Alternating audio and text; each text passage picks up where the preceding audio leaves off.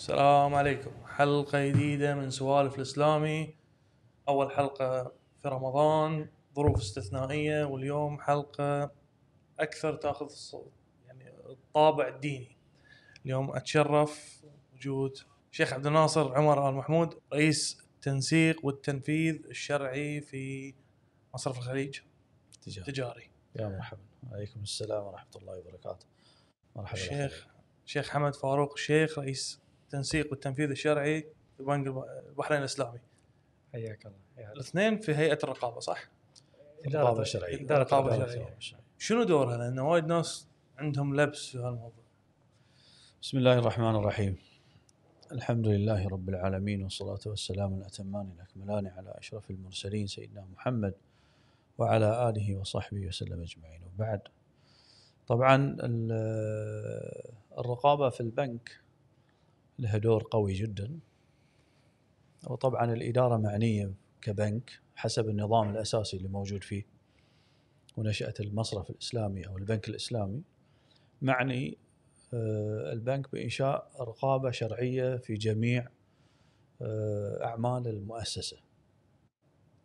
سواء كانت هذه ال- الرقابة الشرعية تتعلق بالمنتجات أو تتعلق بالعقود أو تتعلق بالاتفاقيات أو تتعلق بأي شيء البنك آه، يطرحه سواء يكون داخلي أو خارجي.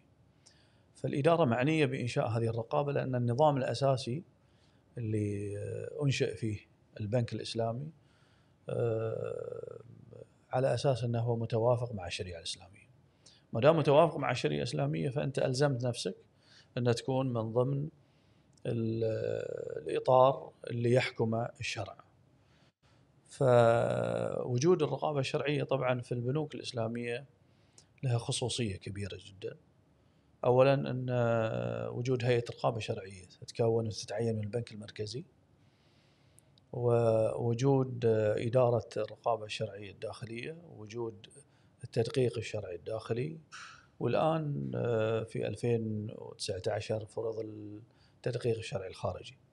هاي كلها من أجل هدف واحد وهو أن يكون البنك في جميع معاملاته اللي يقدمها للجمهور ملتزم بأحكام الشريعة الإسلامية فهذا الهدف الرئيسي اللي آه، من أجله وجود هذا النظام. النظام طبعا يتعلق بجميع مفاصل المؤسسة في آه، المنتجات، في تصميمها، آه، في الاتفاقيات اللي تكون، في العقود، في الإجراءات اللي تتم بين البنك في طريقة المحاسبة، معالجتها، كلها هاي تتعلق بالنظام الأساسي يجب أن يكون خاضع للرقابة الشرعية الداخلية يعني موافق لأحكام الشريعة الإسلامية، موافق لقرارات الهيئة، موافق للمعايير الشرعية آه، لما يصدر من البنك المركزي من تعميم أو أي شيء. هاي تقريبا ال- الأمور عمل اللي بشكل- تكون بشكل عام للرقابة الشرعية اللي موجودة في المؤسسة. شيخ حمد ابي اسال كل البنوك الإسلامية هيئة الرقابة تشتغل بنفس الطريقة ولا يفرق من بنك لبنك؟ طبعا ال- ال- الضوابط العامة هي آه، ضوابط واحدة معروفة لأن هي معتمدة من بنك البحرين المركزي وكلها تتبع مرجعية واحدة هي هي مرجعية هيئة المحاسبة والمراجعة للمؤسسات المالية الإسلامية اللي هي ال- الاوفي. ف- ف- فمرجعياتها واحدة وخلينا نقول دستورها واحد آه، لكن في هناك طبعا قد تكون يعني اختلافات في وجهات النظر، اختلافات في في قضايا العقود وقضايا بعض الت- ال- ال- التطبيقات. آه، أنا بس بضيف عبارة اللي هي يعني إحنا ممكن على أساس نفهم الرقابة الشرعية نفهم من خلال التعريف يعني كتعريف شبه رسمي اللي هو آه، مراجعة وفحص أعمال البنك للتأكد من التزام البنك بأحكام الشريعة الإسلامية. مراجعة وفحص شنو يعني؟ يعني عندنا مراجعة قبل مراجعة بعد. المراجعة اللي قبل تقوم به إدارة والمراجعة اللي بعد تقوم به إدارة ثانية. والإدارتين ذين تتبعون هيئة الرقابة الشرعية اللي هي مجموعة من الفقهاء ال- ال- ال- المعروفين على مستوى البحرين حتى على مستوى الخليج العربي والعالم. ال- وأيضا أيضا اداره الرقابة الشرعية مثل ما قلنا عندها مرجعية ال- ال- الوفي وعندها مرجعية البنك المركزي آه، فكلها تقريبا بشكل عام تقوم بدور واحد متشابه مع اختلافات بسيطة بين ال- البنوك الإسلامية الموجودة. شنو اللي يميز بنوك البحرين عن باقي البنوك؟ خصوصا في اقصد في عمل هيئة الرقابة. في عمل ال- ال- البنوك الإسلامية في البحرين تتميز بوجود تشريعات منضبطة من أكثر من خمسين سنة.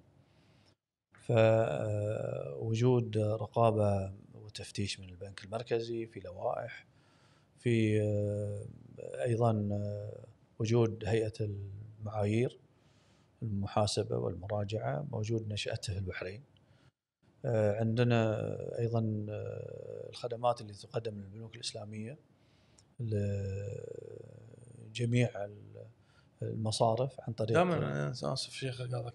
دائما لما تتابع اللي يتكلمون عن يعني اللي مكتوب عن البنوك الإسلامية البحرين خير مثال في هالموضوع. صحيح. هذا هذا ما في شك. يعني التشريعات الأنظمة وجود الكوادر البحرينية وجود المؤسسات العريقة اللي لها باع كبير في عملية الصيرفة الإسلامية وجود علماء أفاضل من بداية نشأة المؤسسات قامت على أيديهم خاصة الأيوفي والمجلس الشرعي. والآن بعد بفضل الله عز وجل نشأ عن طريق جلاله الملك المجلس الشرعي في البنك المركزي وله آه، شكل آه، قانوني موجود آه، وطبيعة خاصة بالبنك المركزي وتستعين به المؤسسات وغيرها في المنتجات وفي تطويرها عن طريق البنك المركزي وتعميمها لجميع البنوك في حال تطلب إصدار منتج معين من البنك المركزي للجمهور أو للمؤسسات المالية الإسلامية. تستعين بهذا المجلس الشرعي الموجود في فطبيعة البحرين لها تشريعات جدا ممتازة راقية في في الصيرفه الإسلامية. ووجود كيان يدعم المؤسسات خاصة المؤتمرات اللي تقام والأيوفي والمجلس العام للبنوك الإسلامية فكلها موجودة في البحرين. ففعلا يعني التميز آه، تمتاز به البحرين بوجود جميع البنوك الاستثمارية والتجارية والقطاع الأفراد وغيرها. شيخ حمد كثرة البنوك أو أن البحرين أساسا هي هب ملتقى للبنوك يمكن في المنطقة البحرين عندها وزنها في خصوصا في البنوك هذا صعب عملكم ولا سهله؟ يعني صعبة في جوانب وسهلة في جوانب يعني يعني سهله في جوانب إن في هناك يعني تلاقح خبرات موجودة بين البنوك الإسلامية حتى الإدارات اللي الداخلية في البنوك الإسلامية. مثلا إحنا كإدارات الرقابة الشرعية في بيننا تواصل وتنسيق دائم يعني في في تراكم خبرات ونقل حتى يعني خبرات وتجارب بيننا.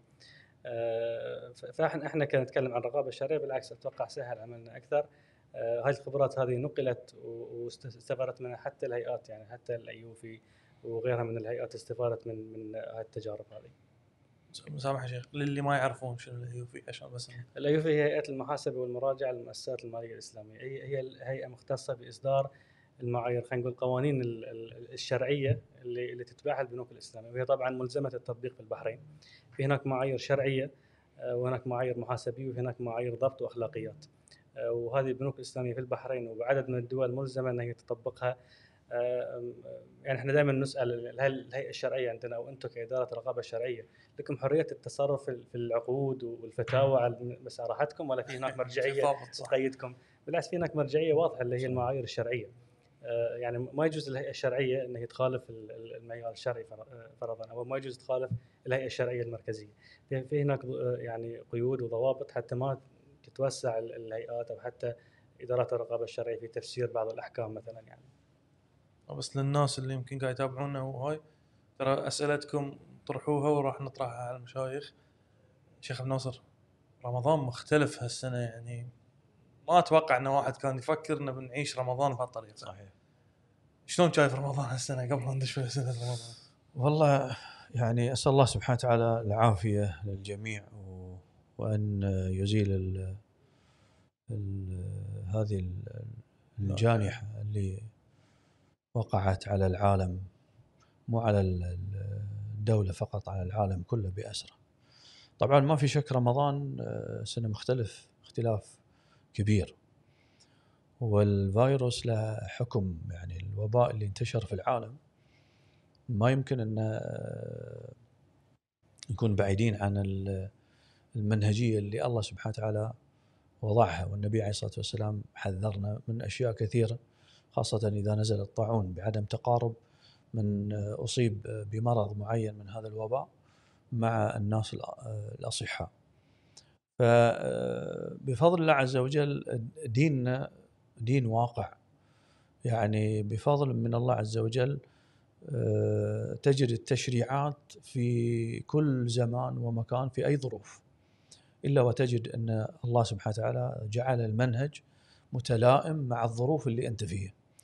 فعلى سبيل المثال إن آه، حبس الناس الآن في بيوتهم فبفضل الله عز وجل ما منعوا ما منعوا الأجر اللي آه، كانوا يصلون في المساجد سواء للفروض أو الجمع أو الأعياد. الأجر بفضل الله عز وجل موجود لأن ال- ال- الحابس الذي حبسهم هو أمر طارئ. لعام لل- للجميع بل للعالم كله. الحبس العالم تقريبا فوق السبعة مليار ما يستطيع أن يتحرك في العالم كله. فالأمر بالنسبة لرمضان بالنسبة لنا بالعكس كانه خلوة مع الله عز وجل. آه، في تقارب من قبل ال- ال- الأسر مع بعضهم البعض. الآباء مع الأبناء والأبناء مع الآباء. آه، كان ال- الكثير من الناس يشكون من آه، عدم التقارب عدم وجود آه، وقت. بفضل الله عز وجل الآن أغلب صار عندك وقت وايد. صار أوقات كثيرة جدا. فالحياة تغيرت نمط الحياة تغير. العلاقة اللي بين الآباء والأبناء تغيرت بحيث أن الطاعة أصبحت غير مختلفة. إقبال الأولاد لهذا الوضع وفي شهر رمضان أصبح متغير. إقبالهم لقراءة القرآن شيء غير. علاقتهم بين ال- ال- الأب والأم أصبحت مختلفة. تنوع في عمل الخير أصبح آه، بفضل عز وجل إبداع من كثير من ال- الشباب في البحرين أو في خارج البحرين. شلون تكيفوا مع هذا الوضع؟ في إن الأعمال الخيرية والصدقات والإقبال على الله عز وجل الذكر قراءة القرآن ال- ممارسه الحياة بشكل آه، فيها نوع من التفاهم معرفة الذات معرفة الأبناء أصبحت مختلفة جدا. إقبالهم على الله عز وجل اختلف. فنمط الحياة فعلا في رمضان آه، اختلف وأسأل الله سبحانه وتعالى أن يزيل عن الأمة إن شاء الله. هذا الوباء. محمد وايد كنت أسمع خصوصا هالفترة يعني إن هذه الجائحة صارت فرصة فرصة مثل ما قال شيخنا نقعد في البيت ناخذ وقت أكثر بس شلون نستفيد من هالوقت؟ شنو ممكن نسوي خصوصا أيام رمضان الحين؟ نعم أنا أظن رمضان هذه السنة هو أفضل السنوات اللي ممكن الواحد يستفيد منها من من هذا الشهر. قبل كان الكل يقول لنا إنه والله إحنا يعني من من يدخل رمضان أو قبل رمضان نبدأ تجهيزات العيد والقرقاعون ويمر علينا الوقت وخلاص ما ما تفرغنا لا حق صلاة ولا عبادة. أو والله مثلا حق صلاة الأرحام أو الغبقات أو الأمسيات وغيرها. هذه السنة المفترض ان هالاشياء تقريبا اختفت يعني ما في أو خلاص. أو انعدمت. آه، فالوقت اللي حل الحين محل هذا اللي كان موجود شو راح تسوي فيه الحين فالفرص موجودة آه، والنقطة الثانية إن حتى نفهم إن هل الواحد لما يقيم نفسه هل هو فعلا استفاد من رمضان أو لا؟ شنو حكمة رمضان؟ ليش رب العالمين فرض رمضان؟ يعني الآيات والأحاديث آه، نصت على أمور متعددة يعني في هناك حكم كثيرة جدا ممكن نلخصها بخمسة باختصار. اولا ال- ال- هناك في هدف روحاني ويعني لعلكم تتقون هذا الهدف الرئيسي إن الواحد آه، ال- ال- القلب آه، يعلو مع الله سبحانه وتعالى. ويبدأ الإنسان بتقوى وخوف والخوف من رب العالمين هذا الهدف الأول هدف روحاني. الهدف الثاني هدف ال- الاخلاقي وهو ولعلهم يشكرون في الآية اللي بعدها. فيتعلم الإنسان معنى الشكر ويطور علاقته مع إخوانه ويحس بمعاني الفقر ومعاني الجوع والعطش. الهدف الثالث هدف إداري وتنموي. الآية اللي بعدها الثالثة ولعلهم يرشدون. فالرشد يكون في معنى الاستقامة، الرشد في, في الإدارة، إدارة الوقت، إدارة ال- ال- الجوع وإدارة الشهوات، كل هذه آه، تحت هذا البند. الهدف الرابع هدف ال- ال- التربوي يتعلم الإنسان معنى معنى الرقابة. يعني ال- إلا الصوم فانه فإنه لي وأنا أجزي به. فلذلك يعني يقول إن الصيام عبادة سلبية. يعني مو نفس الصلاة إن أنت تروح في في جماعة وتصلي الكل يشوفك. أو مثلا الحج. آه لا ال- ال- الصيام عبادة سلبيه وأنت وأنت تمشي في السيارة وأنت آه تمشي السيكل وأنت في البيت وأنت تكرم حتى في الحمام صايم والأجر يمشي لك على طول. الهدف الخامس والأخير هدف صحي وهاي نتركها حتى حق الأطباء يعني وهي إن يعني قضية الصيام والأثر المعروف صوم وتصحوا آه، وهو أثر صحيح يعني في في معاني الصيام فالأهداف الخمسة إذا تحققت عند الإنسان ولو يعني جزء منها فانت هني فعلا استغليت وقتك في رمضان أحسن استغلال. شيخ عبد الناصر يعني خصوصا هاي الفترة والأيام الجاية إحنا متعودين صلاة تراويح صوت القرآن الناس اللي تروح المسجد اللي طالع المسجد. يعني هاي الحركة الرمضانية اللي تعودنا عليها. صحيح. خصوصا في العبادات. الحين في الأشياء الثانية ممكن أقعد في البيت بس في العبادات وفي ناس يعني ناطرين رمضان عشان هذا. صحيح. وياي صلاة عيد متعودين نقعد الصبح على صوت. هاي كله السنة مو موجود. نصيحتك لنا إحنا كمسلمين هي الله يسلمك آه، هي نعم. والنعم اللي هنا نعيشها اليوم ما كنا آه، يعني نحس بطعمها ولذتها والنعم اللي الله سبحانه وتعالى أنعم علينا من من الصلاة في المسجد من صلاة التراويح.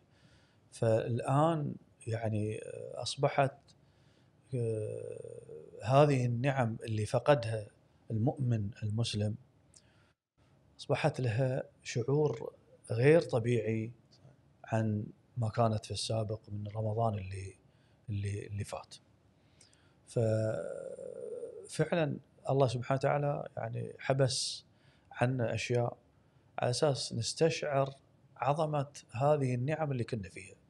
لذلك المريض متى يشعر بالصحة إذا فقد هذه النعم اللي كان يعيشها بشكل طبيعي ويمارسها في حياته ولا قاعد يلتفت لها بشكل يعني أساسي ويشكر الله عز وجل على نعمة العين، نعمة البصر، نعمة اليد، نعمة الصحة، نعمة الأكل، نعمة التلذذ، نعمة الحركة، نعمة الخروج، هاي كلها نعم.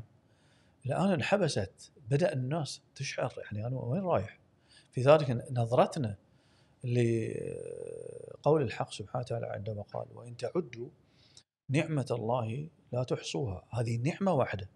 فهنا اليوم في ازدحام من النعم اللي الله سبحانه وتعالى أنعم علينا سواء كانت من الشعائر الدينية أو كانت تتعلق بحياتنا أو تتعلق بالعمل أو تتعلق بالعلاقات أو تتعلق بالأسر أو صلة الرحم. كلها هذه الآن بدأت تنحصر. في بيتك أنت مع أولادك فقط. ففعلا لها آه، وقع كبير في القلب. لعل الله عز وجل يبي يشعرنا أن نشكر الله عز وجل دائما ونتذكر هذه الأشياء اللي انحرمنا فيها كيف بيكون تغييرنا في المستقبل الجاي. طريقة الحياة تغيرت. راح تتغير أكثر بعد. وتتغير أكثر. وشعورنا مع الله عز وجل كما أخبر الحق سبحانه وتعالى لعلكم تضرعون. يعني ال- الفتن الامتحانات مو من أجل آه، مضرة الإنسان. الله سبحانه وتعالى غني عن آه، مضرتنا وعن آه، عذابنا وعن كل شيء. ما يفعل الله بعذابكم إن شكرتم وآمنتم. فالمطلوب هو الإقبال على الله عز وجل. وناس كثيرين فعلا. ما كانوا مقبلين على العبادات. لأن أقبلوا على العبادات. ما كانوا يقرؤون القرآن. تفرغوا لقراءة القرآن. ما كانوا مطلعين.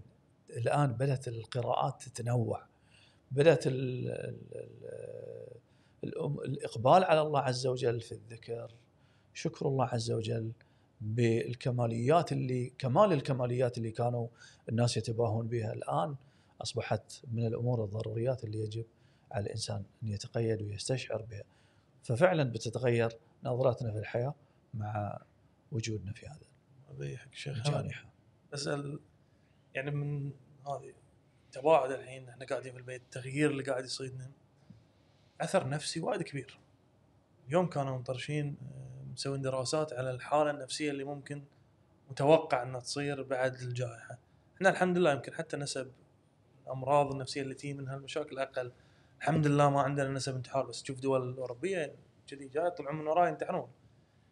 وعندنا الحمد لله دين إحنا خصوصا كمسلمين بسرعة من واحد يتأذى على طول يلجأ يعني جو حتى لو ما كان وايد ملتزم يصير ملتزم. الحين فترة رمضان وهاي الحالة النفسية.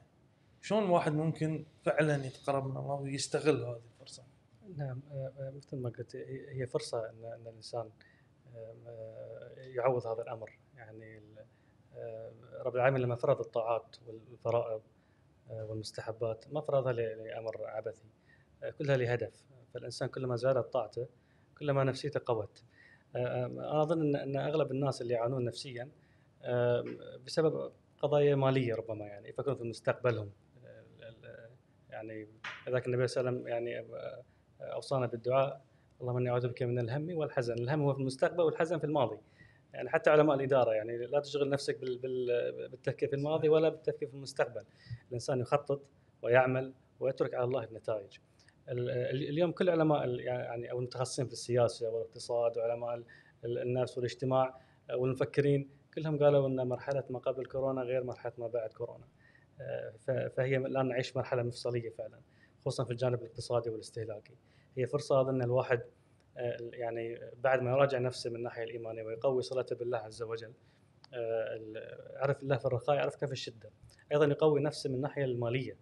آه، آه، يعني مو معقول أنت الحين قاعد في البيت شهور ما تراجع نفسك ماليا من الناحيه الاستهلاكية. هل هل تصرفاتك الاستهلاكية صحيحة ولا لا؟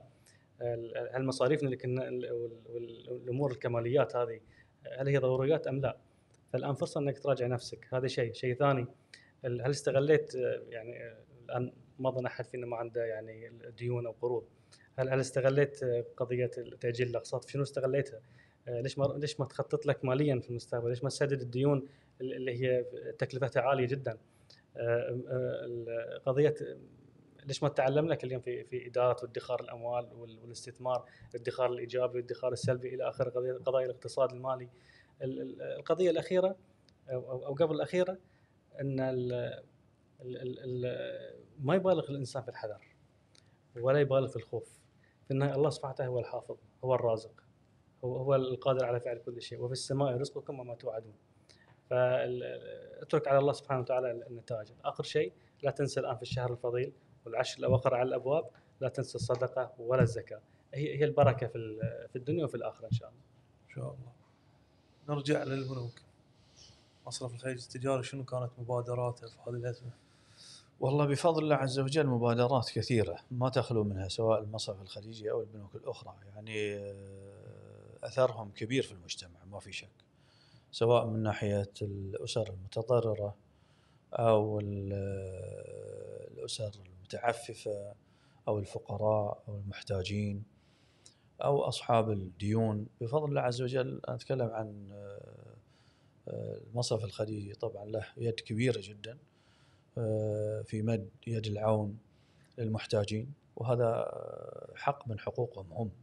لأن الله عز وجل عندما فرض الزكاة والصدقات وأعمال الخير هذه حق الفقراء والمساكين. فالحمد لله رب العالمين المؤسسة لها باع كبير جدا في في عمل الخير والتصدق والتعاون مع الجهات ال- الرسمية من من الخيرية سواء جمعيات أو صناديق أو غيرها في توصيل هذه المساعدات إلى المحتاجين. فبفضل الله عز وجل وكان رمضان الماضي كان لنا يعني بفضل الله عز وجل روحانيات مع ال- ال- العمالة الوافدة. فكان مشروع جدا وهو إفطار صائم.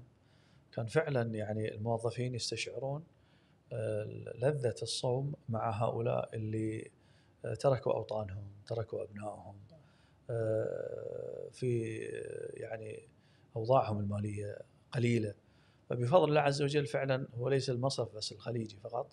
طبعا البنوك الإسلامية كثيرة في هذا المجال لكن هذا المشروع كان له العام أثر كبير على الموظفين أثر كبير على أسرهم. آه، يستشعر الإنسان بالنعمة. نعمة الصوم نعمة إن ليش الله سبحانه وتعالى حرمك من الطعام ومن الشراب؟ أساس فعلا تحس بالفقير والمسكين. شلون هو يعاني طول السنة؟ فأنت الله سبحانه وتعالى حرمك 15 ساعة فقط في شهر واحد. فما بالك بالمحرومين. لذلك ال- اليوم فعلا نحتاج إن إحنا نستشعر وإن كنا محبوسين وإن كنا موجودين في ال- في المنزل خروجنا له شروط في قيود معينة لحمايتنا وبفضل الله عز وجل جهود مملكة البحرين آه، سباقة جدا في آه، التعامل مع هذه الأزمة. آه، إلا أنه لو تذكرنا ال- الناس اللي يعانون طوال العام منها من أشياء من الحروب ومن غيرها من عدم وجود منزل أو وطن أو آه، بيت يأويهم يأوي أسرهم إحنا نعيش ملوك. فيجب على الإنسان هو نظرته هي اللي تحدد شلون سعادته في الحياة. النظرة هي اللي فعلا تتغير آه، سعادته وطريقة تعامله مع الأحداث اللي موجودة. شنو المبادرات البحرين الإسلامي؟ ما شاء الله الفترة الأخيرة يعني مبادرات مو موقفه بس في رمضان الحين. نعم ال- الحمد لله رب العالمين. طبعا ال- البنك البحرين الإسلامي مثل مثل ال- البنوك الإسلامية صحيح. وحتى غير الإسلامية يعني. يعني آه، الأزمة الأخيرة أزمة كورونا آه، أثبتت يعني. الكل الجميع ان شعب البحرين شعب متكاتف ولله الحمد. يعني حكومة ومؤسسات مجتمع مدني وجمعيات تعاونية وهيئات وبنوك وتجار. كلهم ما شاء الله يعني حملت فينا خير يعني كانت يعني ما شاء الله. آه، اكبر أكبر شاهد يعني. طبعا بنك البحرين الاسلامي شارك في هذه الحملة أيضا شارك في حملة اللي كانت بالتعاون مع محافظة العاصمة في آه، دعم الجاليات. أيضا أطلقنا مبادرة من لجنة الزكاة لدعم الأسر المتضررة من يعني من كورونا. آه، ولجنة الزكاة أيضا كان لها دور في في قضيه في قضايا دعم القطاع الصحي وغيرها يعني. فالحمد لله كان في في مشاركات طيبة يعني. بعد عندك سؤال. يعني موضوع الزكاة ما أحب اتناقش الحين أهمية الزكاة وركن من أركان الإسلام. بس أنا أقول كله في رأيي يعني من نتحكي عن الزكاة إن اللي ما يعرف حلاوة العطاء ما يفهم يعني شنو الزكاة. نعم. يعني خصوصا الحين رمضان والزكاة شنو شنو تقول لنا؟ نعم ال- ال- الز- الزكاة طبعا البعض للأسف يطلق عليها الفريضة الغائبة. آه، هي الركن الثالث من أركان الإسلام مرتبطة بس- بال- بالصلاة. يعني الصلاة ذكرت في القرآن في حوالي 31 موضع. 27 موضع منها قرنت مع الزكاة. فكأن العلماء قالوا كأن ال- ال- الصلاة ما ترفع ولا تقبل إلا مع الزكاة. وهذه الناس اليوم يعني مقصرين فيها جدا يعني. الزكاة تعكس تكاتف وتعاضد المجتمعات الإسلامية بشكل عام. والله الحمد يعني اليوم الجمعيات الخيرية وهناك يعني الصناديق حتى شبه الحكومية آه، بدو- بدور آه، كبير جدا في في هذا الجانب. مصارف الزكاة أيضا عندنا مصارف ثمانية في ال- في الزكاة. كلها تقريبا آه، تخدم هذه ال- الفئة من الناس اللي اليوم تضررت يعني. هم فقراء هم مساكين هم يعني أصبحوا يعني غارمين حتى يعني في في في هذا الوقت. ففرصة ان وهنا يعني نداء نوجه حق حق الجمعيات وحتى حق الجهات يعني مؤسسات المجتمع المدني أن يعيدوا النظر في أولويات المصارف اليوم. آه، في السابق إذا كانت هناك أولويات أخرى اليوم لا تغيرت الأولويات، لابد أن يقدم هؤلاء الذين فقدوا أعمالهم أو تضرروا من من ال- ال- الكورونا ونشوف الحمد لله في هناك يعني حملات عديدة أطلقت من الجمعيات ومن المؤسسات لدعم هذه الفئة من ال- من الناس. ناس شلون نستفيد الحين من هذه الأموال؟ الحين في ناس غرقانين في الوضع الحالي يعني الديون وغيره بس مستقبلا شلون ممكن الزكاة تساعد ان هاي الناس تتعافى بعد أزمة كورونا؟ والله هيك من ناحية الزكاة ما في شك إن حتى ديننا بفضل الله عز وجل يعني أمرنا إن يجوز لنا إخراج زكاة الأعوام آه، المستقبلية الاعوام القادمة. طبعا آه، أصحاب الثروات مهم جدا في هذا الوقت لأن النبي عليه الصلاة والسلام قال داووا مرضاكم بالصدقة. فللصدقة شقين قد تكون صدقة مفروضة وقد تكون صدقة تطوعية. الصدقة المفروضة هي الزكاة.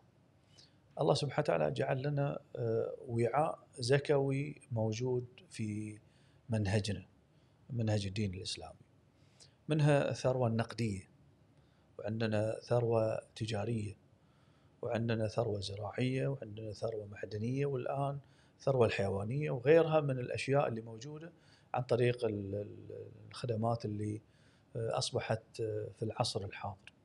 هاي كلها ثروات يسمونها آه، وعاء الزكوي. أي دولة، أي شخص، أي مؤسسة آه، تستثمر هذه الثروات وهذا الوعاء بشكل صحيح ثق تماما إنه هو حافظ على المعادلة الاقتصادية الربانية للشق الأول، الشق الثاني هي مصارف الزكاة للثمانية. فمتى ما استثمرت وعظمت هذه الثروات كلما قل نصيب أو ال- العدد من الفقراء والمساكين لأن حقهم في هذا ال- المال سيكثر. فسبحان الله يعني الله سبحانه وتعالى جعل لنا ميزان بين هذا الوعاء واستثماره على أساس يكون له مردود كبير ومن بين حق الفقير والمسكين والأصحاب الثمانية اللي الله سبحانه وتعالى ذكرهم من أصحاب الزكاة حقهم في هذا المال الذي آه، أخبر النبي عليه الصلاة والسلام أغنوهم. يعني الغنى اليوم ترى كثير من ال- ال- ال- الوظائف آه، لأشخاص سيفقدون وظائفهم. أناس آه، ستقل أجور آه، الأجور اللي كانوا يتحصلون عليها. طبيعة ال- ال- المؤسسات والعلاقة اللي موجودة بتتغير بتغير جذري.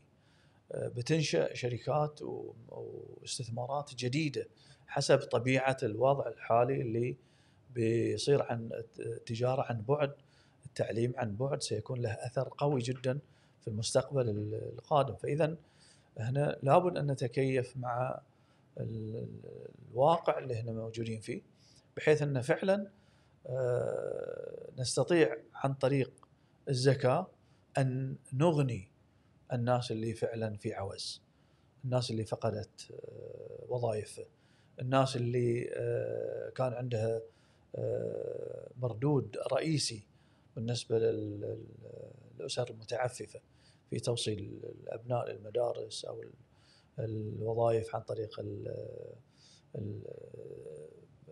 تكسي الأجرة أو مدربين السياقة أو غيرهم. هذه أصبحوا الآن ما عندهم أي مكسب آخر أو مردود يستندون عليه. ففعلا بفضل الله عز وجل الآن ال- البلد قائمين على هذا الجانب والجهات ال- ال- الخيرية بفضل الله عز وجل وأصحاب ال- الأموال والاستثمارات يدهم إن شاء الله بإذن الله عز وجل في هذا الأمر معطاء. فنسأل الله سبحانه وتعالى أن يتكاتف الجميع للانتقال لهذه الفئة اللي تضررت بحيث أن فعلا نوصلهم إلى بر الامان لأن كلنا في سفينة واحدة. فنسأل الله سبحانه وتعالى التوفيق والسداد كلمة أخيرة في هالاوضاع يعني اللي إحنا عايشينها أه، يعني أنا أتمنى يعني من الناس إن ما يشغلون تفكيرهم في المستقبل. إحنا الآن في في شهر فضيل وشهر كريم وانتصف الشهر في هذه الليلة ليله القرقعون. فما تبقى إلا القيد على العشر الأواخر اللي هي خير ليالي في العام. فان الواحد يترك وراء ظهره كل الأمور الدنيوية ويفكر في الآخرة ويفكر في علاقته مع رب العالمين ويقيم نفسه ويقيم ذاته وعلاقته مع الله سبحانه وتعالى وعلاقته مع الناس. ال ال العشر الأواخر معروف النبي صلى الله عليه وسلم يعني كان في العشر الأواخر اذا اذا إذا دخلت العشر الأواخر شد مئزرة وأيقظ أهله وأحيا ليلة. وإذا قصرت في, في الأيام اللي فاتت الفرصة أمامك. العشر الأواخر الجاية أفضل من رمضان بالكامل أفضل من 20 يوم بالكامل. ال- ال- وفي في جائزتين عظيمتين في في العشر الأواخر ليلة القدر وليلة العتق من النيران وهي آخر ليلة في في رمضان. فلا تفوت هذه الفرصة عليك. وأترك كما ذكرنا كل ما في عذر. تقعد في ما في البيت. عذر، نعم، يعني ما. عندك شيء. خلاص نعم. أخي ناصر خصوصا يعني ليالي القدر وهالليالي كلها إحنا راح نقضيها في البيت. هذه يعني أنا بالنسبة لي آه، يعني آه، أسعد رمضان. لأن الله عز وجل صفد الشياطين في الأرض كلها. وبفضل الله عز وجل هيأ لنا اللي كنا ندعو الله عز وجل آه، يحبس شياطين الإنس والجن. اليوم الأرض يعني بفضل الله عز وجل طهرت من أشياء كثيرة. رسالة من الله عز وجل وتحذير. بأن لا نعود بعد هذه الأزمة إلى ما كنا عليه. وأن نستغل فعلا هذه العشر الوسطى المتبقية منها. وليلة القدر التي ستكون في العشر الأواخر اللي النبي صلى الله عليه وسلم قال التمسوها. فلا بد أن يتفرغ اليوم الحمد لله بفضل عز وجل الأبناء مع الآباء. لابد أن يكون لهم ورد. لازم أن يتعلم الأبناء قراءة القرآن مع الآباء. يتعلمون آه، التهجد صلاة الفروض بالكامل بفضل الله عز وجل بيوت كثيرة. الآن آه، يأمهم الصغير والكبير والأب وال يعني والأخ فأصبح آه، بيوت عامرة بذكر الله عز وجل. لابد أن نستغل هذه الفرصة وأن نقبل على الله عز وجل لأن الله سبحانه وتعالى أعطانا أمانة. اللي إنا عرضنا الأمانة على السماوات والأرض فأبين أن يحملنها وحملها الإنسان إنه كان ظلوما جهولا. هذه الأمانة عكسها الخيانة والأمانة تشمل جميع الأحكام اللي الله سبحانه وتعالى فرضها. فهنا في هذا الشهر يجب أن نحافظ على الأمانات التي أعطانا الله عز وجل خاصة التكليف الأحكام الشرعية اللي الله سبحانه وتعالى فرضها علينا. الأمر مو لعب وليس هزل. فالأمر في جد لأن موازين الأرض يعني آه، بسبب طغيان الإنسان واعتماده على المادة والبعد عن الله عز وجل لعل هذه الرسالة اللي وصلت من هذا الفيروس الذي لا يرى بالعين المجردة وله هالقوة الشاسعة في العالم كله اللي أوقف وجمد جميع الحركة للإنسان هذه شيء لا يرى. فما بالك بعظمة الله عز وجل وقدرته؟ فعلا يجب على الإنسان لأنه هو ضعيف أن يعتمد على القوي على العزيز على الرحيم. فالله سبحانه وتعالى لعل هذه رحمة وهي فعلا رحمة من الله عز وجل. لأن يعني ترجعنا إلى الله سبحانه وتعالى. فالشاهد أن محتاجين فعلا في هذه الأشهر سواء في الأيام الفر الفرادة اللي هي 21 23 25 27 29 نقبل على الله عز وجل. يعني آه، يكون لها طعم غير فيه تضرع آه، في خوف من الله عز وجل. ما أن نألف الشيء بحيث أنه يصير شيء عادي طبيعي. لا لا. يجب علينا أن نقبل ونتضرع إلى الله عز وجل بشكل أكثر وأحسن. أنا شاكر لكم شرفتوني.